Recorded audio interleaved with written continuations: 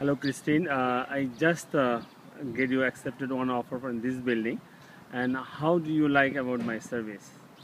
Your service was impeccable, very professional. You were prompt, you responded to my interests, you gave me lists of options, you made sure that I looked around, and anything I wasn't happy with, you made sure that you were clear on what I was looking for, and you provided them for me.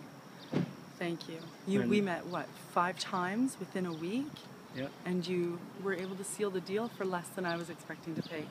Thank you so much. So, are you happy with the price and the way I negotiated? I'm ecstatic with the price, and I'm so blessed that you are my agent. Thank you kindly. And are you going to recommend me to your friends if someone asks for a real estate help? Absolutely, yes. Okay. And uh, I'm really delighted to have you as my client. And it was a very wonderful time we have together because you are such a nice and understood the how the system works.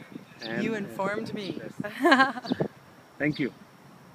And wish all the be- best for your new place. Thank you.